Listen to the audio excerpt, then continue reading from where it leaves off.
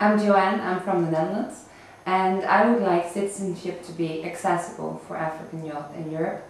The situation right now is not that uh, citizenship is not accessible, especially not in Greece and uh, in, in Italy, or it's not easy accessible. And I think citizenship is the key to participation in society.